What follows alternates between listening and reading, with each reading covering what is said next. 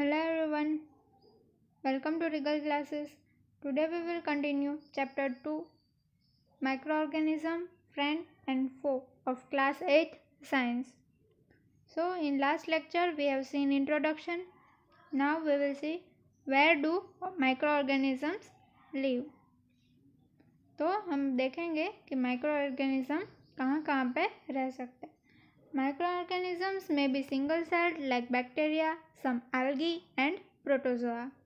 तो वो single celled भी हो सकते हैं मतलब कि एक ही सेल से बने हुए थे और मल्टी सेलुलर मतलब कि एक से ज़्यादा सेल से बने हुए थे यूनिसेलुलर का एग्जांपल हमने देखा था अमीबा और मल्टी सेलुलर तो कई सारे होते हैं such as many algae and fungi कई सारे algae और फंगी मल्टी सेलुलर होते हैं, जैसे कि spirogyra they live in all types of environment ranging from ice cold climate to hot spring मतलब वो बर्फ़ जैसी ठंड होती है, वहाँ पे भी रह सकते हैं, और हॉट स्प्रिंग्स मतलब जहाँ पे गर्म पानी के झरने होते हैं, वैसी जगह पे भी वो सर्वाइव कर सकते हैं।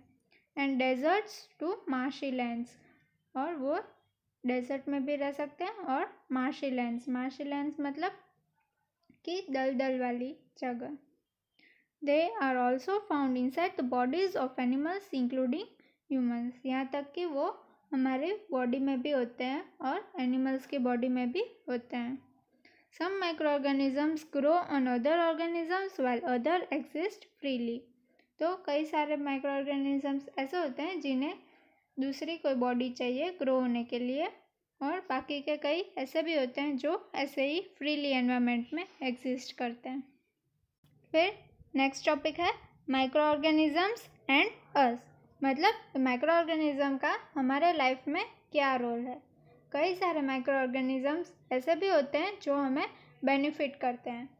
मेडिसिन में यूज़ होते हैं, फिर हमारे डेली लाइफ में कई सारे यूज़ होते हैं। और कई माइक्रो ऑर्गेनिजम्स ऐसे भी होते हैं जो हार्मफुल होते हैं हमें, जिससे कि हमें डिज़ीज़ होती है तो वो सब हम आगे देखेंगे। Micro organisms play an important role in our life मतलब हमारे लाइफ में माइक्रो ऑर्गेनिज्म का बहुत ही इंपॉर्टेंट रोल है। Some of them are beneficial in many ways whereas some others are harmful and cause diseases let us study about them in detail तो हम इसके बारे में डिटेल में पढ़ेंगे।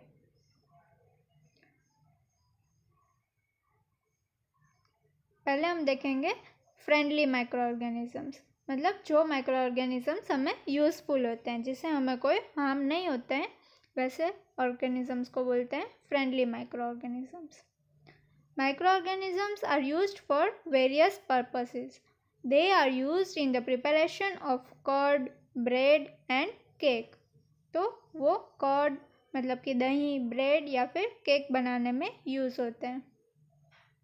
Microorganisms have been used for the production of alcohol since ages. Alcohol की preparation में भी माइक्रो ऑर्गेनिज्म का इम्पोर्टेंट रोल होता है। वो फर्मेंटेशन के लिए काम आता है। They are also use in cleaning up the environment वो एनवायरमेंट को क्लीन करने में भी यूज़फुल होते हैं। मतलब जो हम गार्बेज वो सब डालते हैं, उसे डीके करने में हेल्प करते हैं। For example the organic waste vegetable peels remains of animals faeces etcetera मतलब ये जो भी सब्ज़ी के छिलके होते हैं एनिमल्स डेड हो जाते हैं, उसके बाद जो रिमेन्स होते हैं फेसिस मतलब काउ डंक और जो वेस्ट प्रोडक्ट एनिमल्स से निकलता है, वो are broken down into harmless and usable substances by bacteria उसे वो ब्रेक डाउन करते हैं और यूज़फुल सब्सटेंसेस में कन्वर्ट कर देते हैं। Recall that bacteria are also use in the preparation of medicine जो बैक्टीरिया होते हैं, वो मेडिसिन की प्रिपरेशन में भी यूज़ होते हैं। In agriculture they are use to increase soil fertility by fixing nitrogen agriculture में भी वो सॉइल फर्टिलिटी इंक्रीज करने में यूज़ होता है, जो हमने फ़र्स्ट चैप्टर में देखे थे। जो राइजोबियम बैक्टीरिया होता है वो यूज़ होते हैं सॉइल फर्टिलिटी इंक्रीज करने में।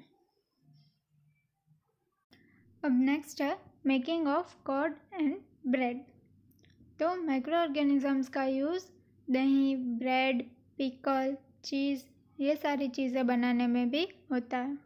You have learn in class seven that milk is turn into curd by bacteria तो क्लास सेवन्थ में हमने पढ़ा था कि मिल्क से कर्ड बनाने के लिए बैक्टीरिया का यूज़ होता है। वो आगे हम देखेंगे कि कौन सा बैक्टीरिया है। Curd contains several micro organisms of this the bacterium lactobacillus promotes the formation of curd तो मिल्क में कई सारे बैक्टीरिया होते हैं। पर उसमें से जो लैक्टोबैसिलस नाम का होता है, बैक्टीरिया, उसकी वजह से मिल्क से कर्ड का फॉर्मेशन होता है। It multiplies in milk and converts it into curd तो ये मिल्क में मल्टीप्लाई करता है मतलब कि ग्रो करता है और उसमें से कर्ड बनाता है। Bacteria are also involve in making of cheese pickles and many other food items तो चीज़ पिकल्स मतलब अचार, ये सारी चीज़ें बनाने में भी बैक्टीरिया का यूज़ होता है। And important ingredient of rava sooji idlis and bhaturas is curd can you guess why तो हम रवा की जो इडली बनाते हैं और भटूरे बनाते हैं, उसमें दही डालते हैं। तो आप गैस कर सकते हो कि वह क्यों डाला जाता है। Bacteria and yeast are also helpful for fermentation of rice idlis and dosa batter तो ये जो बैक्टीरिया और ईस्ट होते हैं, उस फर्मेंटेशन में हेल्प करते हैं। इसलिए उनको डाला जाता है। यहाँ पे एक एक्टिविटी दी है टेक हाफ़ की के जी ऑफ़ फ्लार आटा और मैदा add some sugar and mix with warm water add a small amount of yeast powder and knead to a make a soft dough what do you observe after two hours did you find the dough dough rising तो यहाँ पे बोला है कि एक आधा kilo हमें मैदा या फिर आटा लेना है, उसमें शुगर और गर्म पानी डालना है, फिर उसे गूंद के रख देना है साइड में। तो आप उसे दो घंटे के बाद देखते हो तो क्या वो फूल गया है, वो देखना है।